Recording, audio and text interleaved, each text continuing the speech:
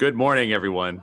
I wish I could be there in Milan with you. I am in uh, Malmo, Sweden at the moment, just across the bridge from Copenhagen, speaking at a, a Radio Days Europe. Um, but I'm so honored to be asked to speak before you today to talk a little bit about branded podcasts and really where where spoken word audio is going and the importance of branded podcasts.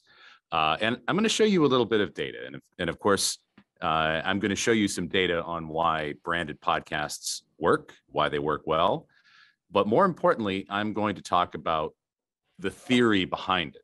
And even though branded podcasts are fairly new, the reason why they work so well uh, is not, and in fact has been well proven in in studies and, and, research. So I want to show you a little bit of that and how uh, branded podcasts I think are really one of the best ways to reach consumers today. Um, I am going to show you a little bit of uh, data, and it's it is data from the United States, but I I hope it's uh, not irrelevant to you there in Italy. Uh, first of all, we do a study every year called the Infinite Dial, and it is a uh, a, a nationally representative survey of Americans, Americans 12 plus, and we ask about a, a, whole series of different behaviors and media consumption behaviors and things like that.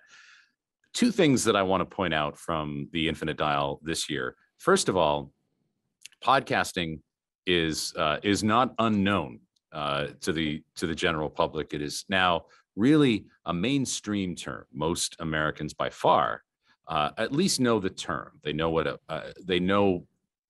They hear people talk about podcasts they know that a podcast is spoken word audio typically.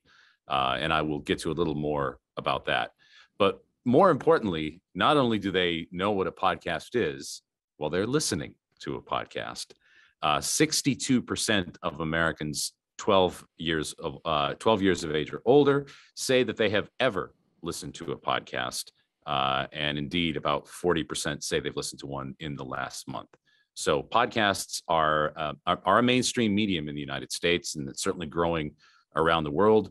Uh, we've conducted infinite dial research studies in Canada, Australia, Germany, uh, South Africa, and indeed in all of those countries, we are starting to see podcasting become truly a mainstream medium. We conduct another form of research in the United States called Share of Ear. And this is a uh, again, a nationally representative survey of all things audio, uh, whatever you can listen to online or offline, whether that's radio or podcasts or audiobooks or even your own music files. We ask people to document all of that for us. We uh, we survey what type of content it is: music, news, uh, talk, sports, etc. Uh, we ask people to keep a diary every uh, in a day, essentially, every 15 minutes what they have listened to. They are obviously paid for this because it's work. Uh, but we asked them essentially what type of content was it? What type of audio? Uh, here in the United States, we have Sirius XM, which is satellite radio. They're also asked about podcasts, streaming audio, uh, what device they use. All of this information is totaled up so that we can find out what is the overall share of ear, what percentage of the amount of time that people spend listening to audio is spent with a variety of different types of audio. So back in 2014, when we started Share of Ear, podcasts were 1% of all of the audio that was listened to. That's not 1% of people, that's 1% of the amount of time that we spend listening to audio, which uh, here in America is about four hours per day, and that really has not changed much in the last uh, seven or eight years. So in 2014, about 1% of that was spent listening to podcasts. Today, that's five times uh, as much as it was in 2014. 5% of all of the audio that Americans listen to is indeed podcasts. We also look at spoken word audio. So if we just take music completely out of the equation, uh, in 2014, podcasts were 4% of all of the spoken word audio that Americans listen to. Today, that's 20%. And what's really interesting about that data to me is that spoken word audio in general has grown in the United States over that period of time. Uh, when we first started Share of Ear, about 82% of all of the audio that we listened to was music. Today, that's about 76%. Uh, spoken word audio has grown in share compared to music by about 40% since 2014. And podcasts are the biggest reason for that. Podcasting uh, has really started a renaissance for spoken word audio here. Uh, and we think that is really spreading around the world uh, in terms of the other countries that we're talking to. And what's really fascinating about these data, uh, this is with Americans 13 years of age to 24 years of age. So the, the very youngest end of Americans. Uh, they spend 16% of their audio time listening to AM FM radio, but 35% of their time, more than double, listening to podcasts. So podcasting, when it first started, was very much a, a 30 to 49 year old medium, but today, uh, a lot of the growth is really coming in on the young end. So there's certainly a lot of consumption of podcasts. There's a lot of listening to podcasts on the young end. Uh, and these are people that are really avoiding traditional advertising. And that's the thing I want to touch on next. We released a study at the very beginning of uh, this year called Super Listeners. Uh, that was done with my company, Edison Research, and uh, another an agency here in the United States called Ad Results Media. And what we looked at in Super Listeners uh, was the percentage of the podcast listening population that listened to uh, at least five hours a week of podcasts. So uh, this is the top end of listening. Uh, these are the people that listen to you know, generally more than seven or eight podcast episodes a week, listen to more than five hours of uh, podcasts in uh, in a given week. As a sample of a thousand of these super listeners. And the reason why we wanted to talk to these, uh, what we call super listeners, is because they are going to hear the most advertising, right? They are listening to so, so much podcast content in a typical week. They're hearing more ads. And we looked at them as the uh, early warning system, as it were, for uh, whether or not we are ruining podcasting with advertising. We do not appear to be ruining podcasting with advertising. But there is uh, there are a few things about these super listeners that are worth noting, especially as it relates to branded podcasting. So, the first thing I will tell you about uh, this particular group of listeners now, obviously, these are uh, heavy listeners to podcasts. They have high income, uh, they spend a lot of money, and some of that money is spent on uh, paid subscriptions to audio services and to video services. I'm showing you here uh, the percentage of super listeners. We've done this study for three years now who have a paid subscription to uh, an internet uh, TV streaming service. You can see at the top there Netflix, Amazon Prime, uh, Hulu. 90% have a paid subscription to one of those services. Uh, today, over half have a paid subscription to a, a premium television channel um, and if you look at the bottom, 94% of these super listeners are paying to subscribe to at least one of these television or video services. Now, why does this matter? Well, because these services are largely commercial free. They are largely not advertising supported. If you're watching movies on Netflix, you're not seeing ads in between the movies or in the middle of movies, right? Uh, if you're watching any of these services, you are not seeing advertising. And 94% of these super listeners are not seeing ads when they're watching these streaming services, right? Uh, the same with audio. You have a paid subscription to Spotify uh, Premium. Certainly, you have in Italy. Uh, we have Pandora here as well, which you do not. Uh, an audiobook service like Audible is 40%. Uh, satellite radio, which the music channels on satellite radio are all, all also commercial free. Uh, but in total, about uh, 76%, right, three quarters of these super listeners also have a paid subscription to a premium audio service that does not have commercials. They are avoiding commercials. They are not even hearing commercials. When we ask them, what's the most important reason why you have a paid subscription to one of these audio channels? Uh, today, 26% say to hear fewer ads, and that has gone up from last year. So over uh, 25% of these super listeners are consciously making the choice to avoid advertising by using a paid subscription to a premium audio service. We asked them, how important is it to you to limit your exposure to advertising? And it's becoming more and more important. Last year, 50% of super listeners said it was important. Today, 59% say it's important. That's quite a jump uh, year over year. So uh, they, these people don't like ads. And maybe, you know, eh, here uh, in this room, uh, advertising may be part of our business. Uh, but let's face it, a lot of advertising is terrible. right. Yeah. And what these super listeners are telling us is that they are doing what they can to try to avoid advertising in their lives. And they are paying to do it. And that's uh, something that has really increased here in the United States uh, over the last 10 to over, over the last five years, really. People are paying for multiple premium services so that they can avoid advertising. So, what all of this tells you is that this is uh, an incredibly attractive group to target. They are very wealthy. They spend a lot of money on the things that your uh, that your clients are advertising, but it's incredibly difficult to reach them.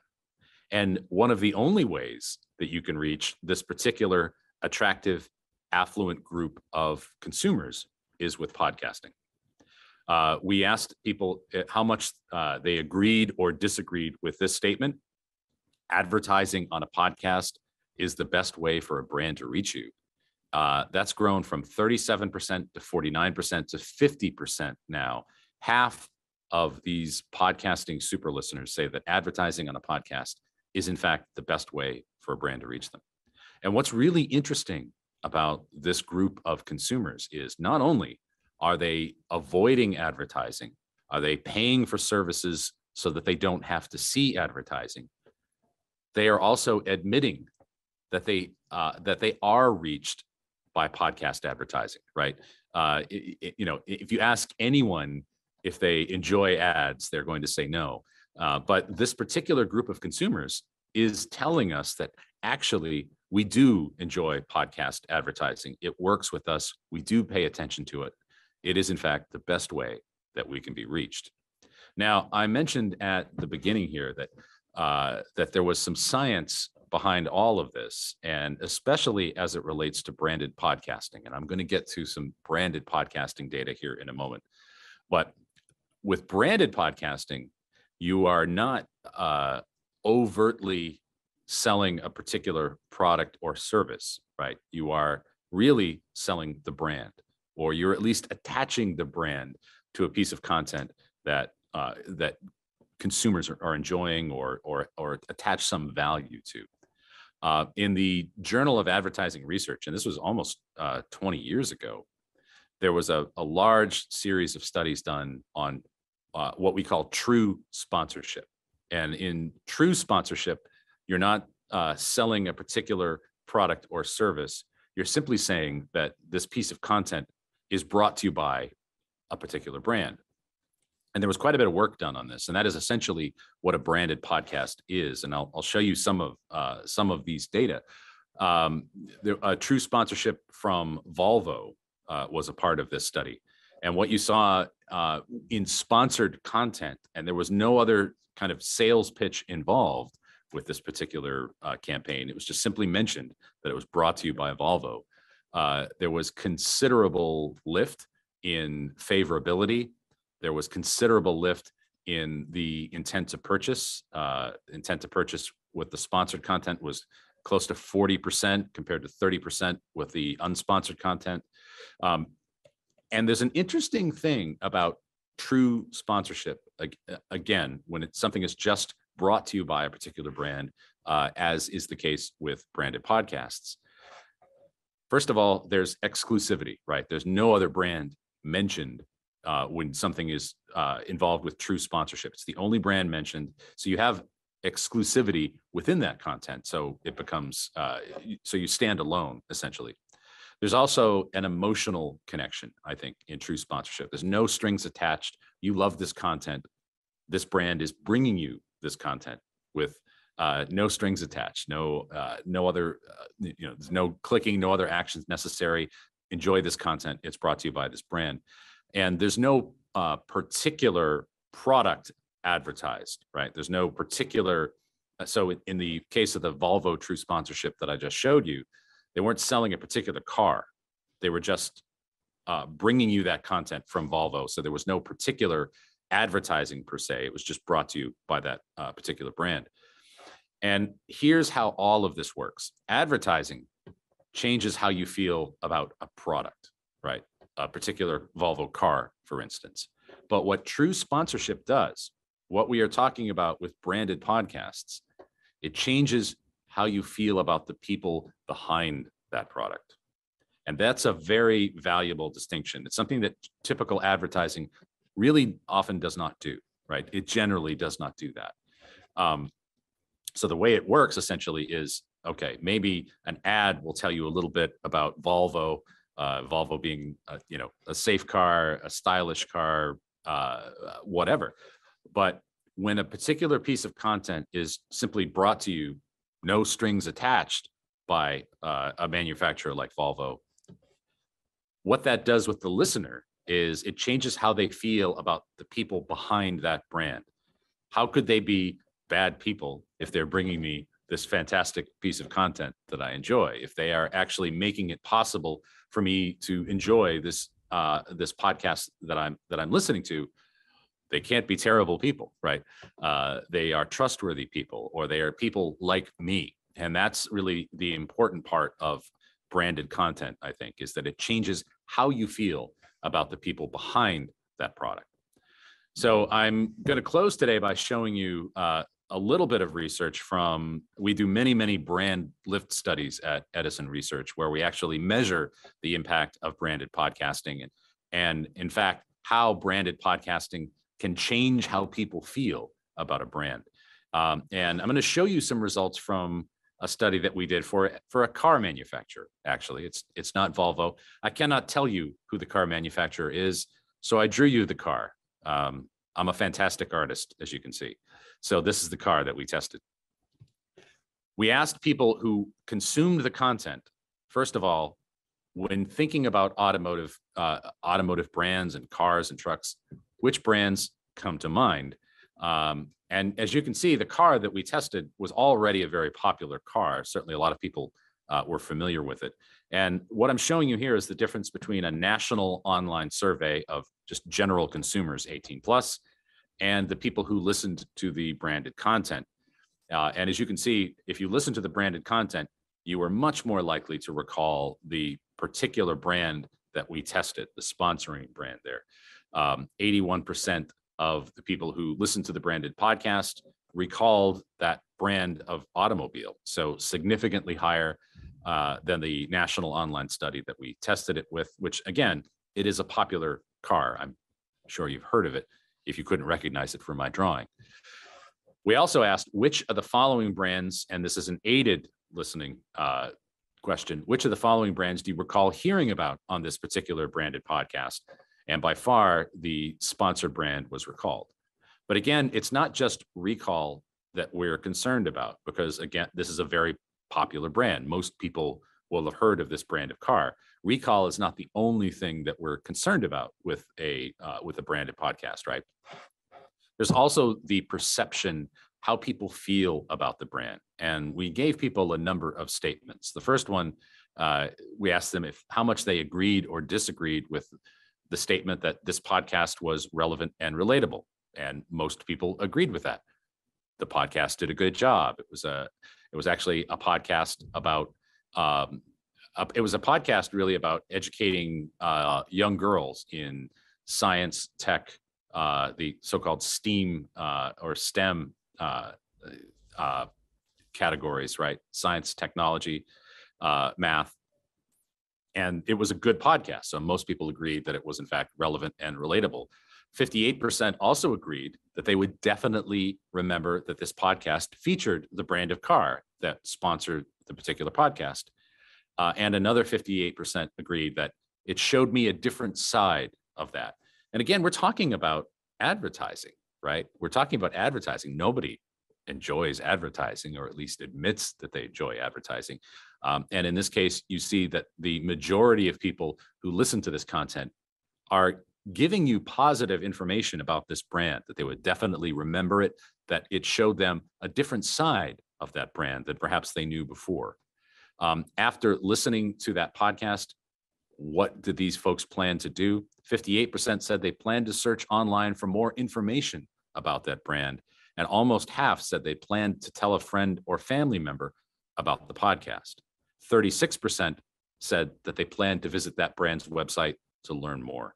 And I would submit that's a very high number. That's more than a third of the people that listen to this podcast are saying they will do an action directly related to learning more about that brand, which is quite a thing for people to admit, right? Again, they just listened to a piece of content that was not about that brand at all. It was simply sponsored by that brand. But more than a third say they plan to find out more information about that brand. So the branded podcast did indeed pique people's interest in that brand, uh, that it showed them a different side of that brand. And again, really related to how people think about the people behind that brand. If the people behind that brand sponsored that content, they can't be terrible people. So maybe they make a nice car. And that's really what happens with branded content. Uh, I'm Tom Webster. I thank you so much for your time and attention. I apologize that I had to do it via Zoom. I know we have all seen a lot of Zoom uh, over the past two years. Uh, I'm at least on your side of the Atlantic. Uh, again, I'm with Edison Research. My contact information is available uh, by that QR code. Um, and I hope you have a wonderful conference, a wonderful day. Uh, I miss Milan. I wish I could be there. But thank you so much for the honor of your time and attention. Thank you. Hi, Tom. Can you hear me? Hi. Hi. Yeah. Well, thank you very much for your um, very thoughtful um, speech, um, for the interesting data that you share with us. Um, so we are seeing there is a sort of path, a sort of trend that we are expecting uh, coming from the U.S., who's been, which has uh, pioneered, uh, let's say, the world of podcast uh, and uh, and this scenario and this phenomenon. Do you expect the same path happening in in Italy, for instance, uh, or what? What are your predictions? Let's say in in our in our scenario. Thanks. Yeah, I think a lot of that has to do with the with the creation of content in in Italian, right? Um, we've certainly seen podcasting uh, spread rapidly in the uh, in, in, countries that are predominantly English speaking. There's certainly a, a tremendous amount of money being spent on uh, English language content.